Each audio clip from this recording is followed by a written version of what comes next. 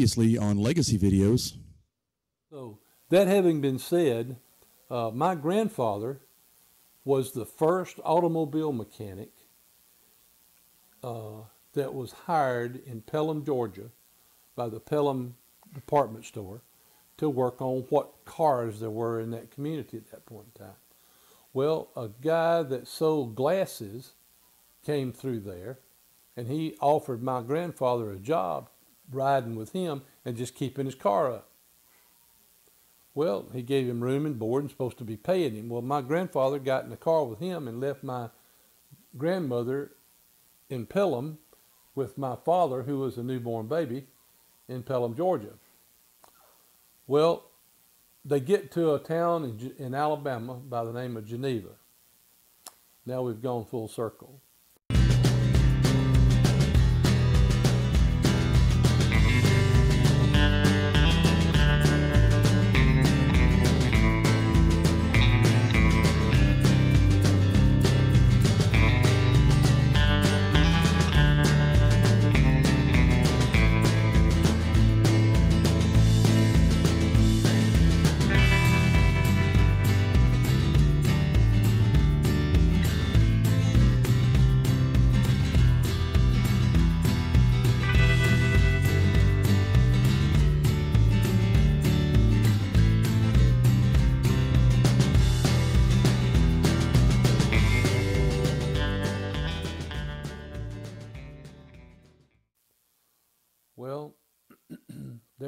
Was stranded.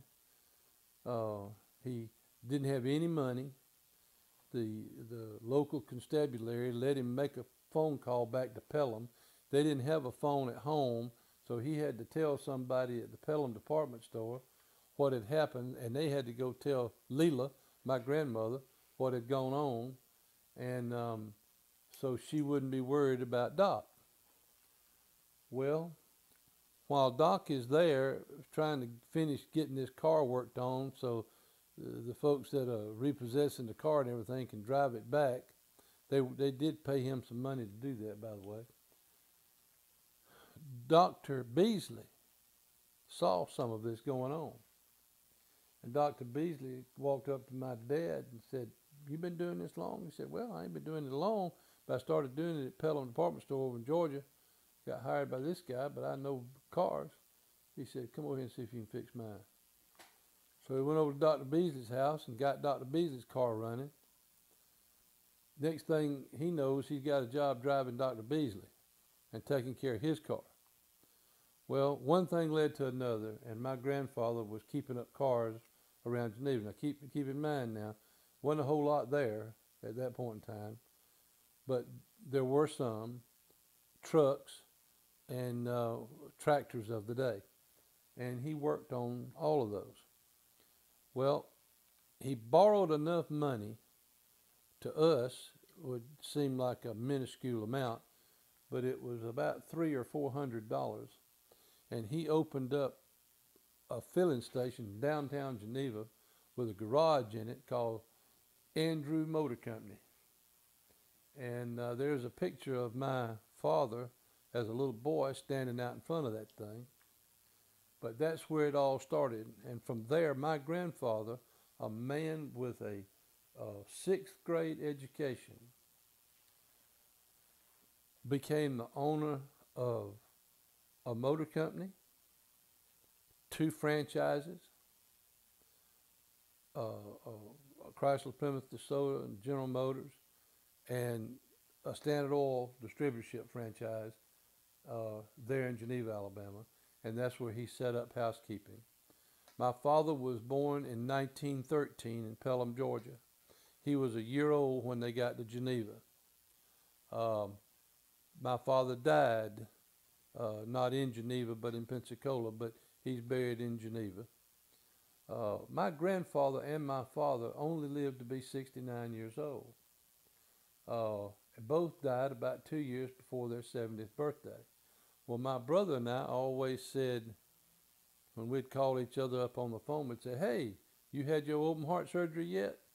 Stuff like that, you know, teasing around about it. And we said, well, one of us got to get past 70 years old. We got to beat this 69 year old record. So my brother was the first one to do it. Uh, I was second, of course, and I'm glad to be here. My brother died a couple of years ago, um, and um, uh, I don't have him to talk about my open heart surgery. Uh, but I had open heart surgery in, uh, in 2015 after a heart attack. But anyway, back to Geneva. Geneva's a great little burg. I mean, it was small. When I was growing up there, there was a little over 3,000 people there. They had a huge chenille, chenille mill there and a, and a shirt factory that was owned by Van Heusen. Folks worked there. Uh, had a cotton mill. Uh, uh, can hear that cotton mill whistle today. I can, I can almost duplicate it. You know, that thing would go off about 4.30 in the morning and it'd sound kind of like this, go, Ooh, it was way off in the distance to me, but really it wasn't probably but about a mile away. Uh, but they'd sound that whistle, tell everybody the time to get up because they had to be on, on shift change.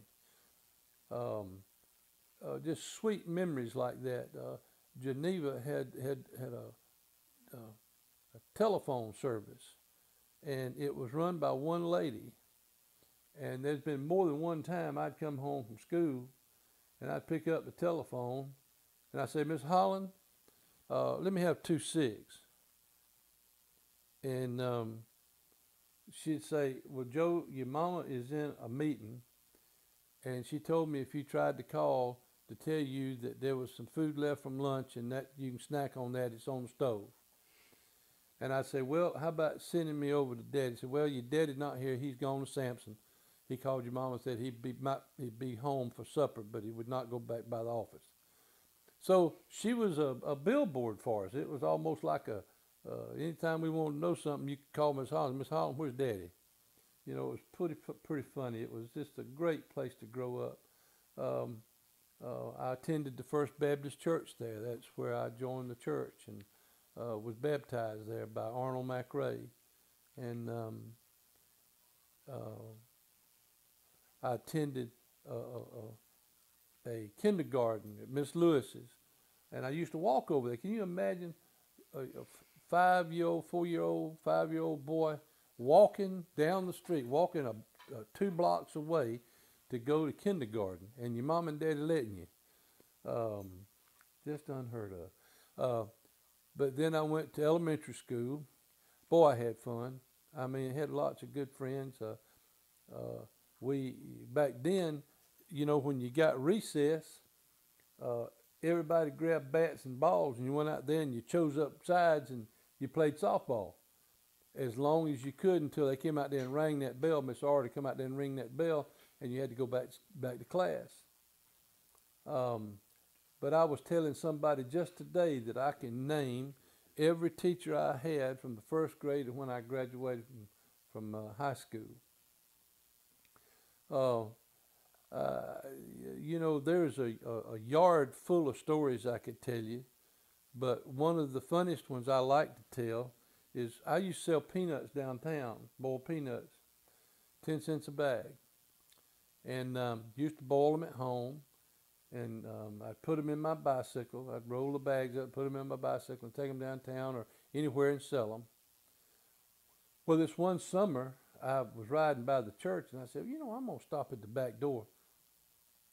I'm going to walk up there and see if that door is open. If it is, I'm going to go ease myself down in that baptistry because we kept water in it all the time and I'm going to cool off. Well, shoot, I swam in that thing for a month and a half before they caught me. Uh, but I was in it one day and I heard the preacher coming out of his office and I got up out of it and he heard the water and I ran out that back door, jumped on my bicycle, and was headed home. And he standing at the back door says, Joe Andrew, I, I know who you are. I recognize you. I'm fixing to call your daddy. Well, he called my daddy, and my daddy was uh, chairman of the board of deacons at that point in time. Daddy gets home that afternoon. He says, Come on, let's go to the back. I got to talk to you. So we go to the back, and he says, I got to just ask you, and I just want you to tell me were, did you get down in the baptistry at the First Baptist Church? I said, yes, sir.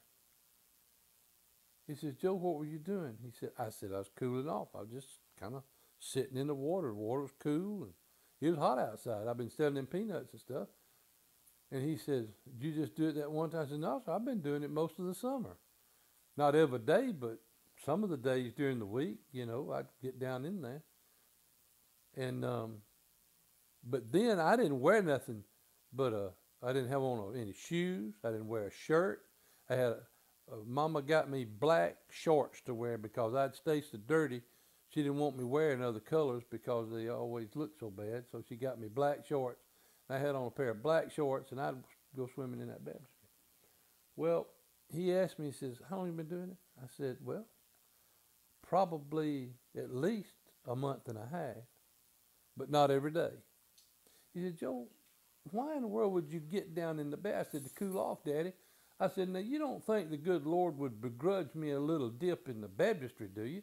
I said, uh, that's just a place to cool off. It's nothing but uh, water. And he said, Joe, you're just not supposed to do that. You, you, got to be punished. I ain't gonna whip you because it, you, you make a good point that you know it is God's water, and he, he'd share it with you. And I'm sure he had a good time watching you swim in that in that baptistry. He said, but you're gonna have to clean it. Brother McRae says there's an oil ring around it, so you've been getting in there a lot. I said, well, well, now wait a minute. Now, what about all them people that've been baptized in there? You know, they probably left some oil behind besides me. Said that don't matter. You're gonna clean that baptistry. So my punishment was to go down there, drain the baptistry, wash it out, clean it up, make sure the inside met Arnold McRae's uh, uh, uh, standard, and then we filled it up with water again. Uh, but funny story about Geneva. Uh, in Geneva, I sold peanuts. I sold oil door to door. I did anything I could make a dime.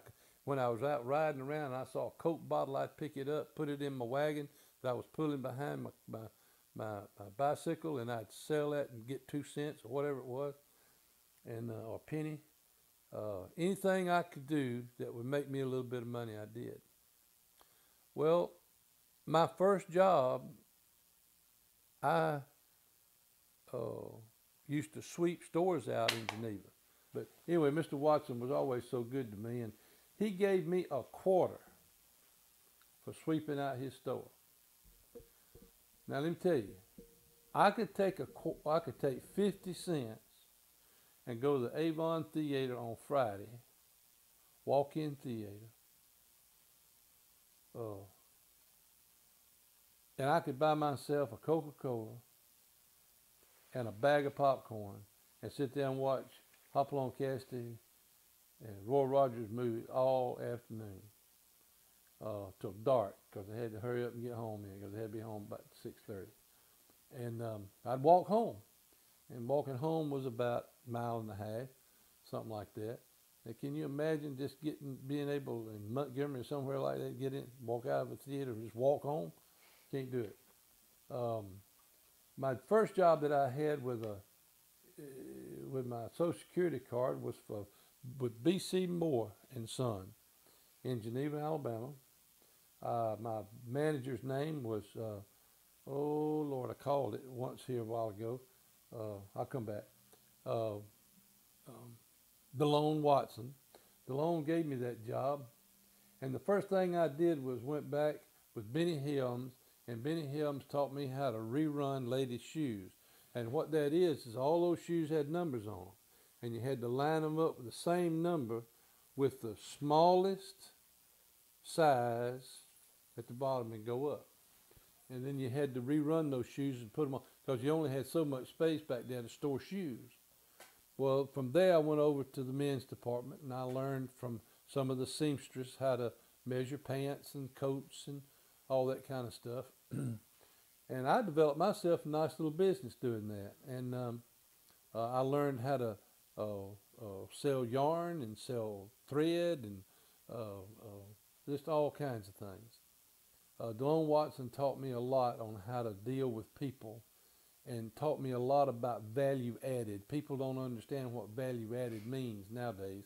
But back then, if I sold a man a suit and a shirt, I might have given him a tie. If I sold him a shirt, a suit, a belt, and a pair of shoes, I probably gave him socks too. So that was value added. Um, and I'd write his name down. And uh, if something came in that I knew that he liked, I might call him on the phone and I might say, hey, so and so, I got that color coat over here you wanted, or I've got uh, that pair of shoes over here you wanted, that pair of boots, whatever it might be. But DeLone Watson taught me a lot.